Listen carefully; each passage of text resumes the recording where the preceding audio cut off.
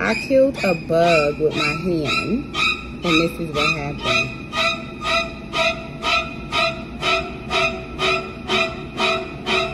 This is fucking disgusting.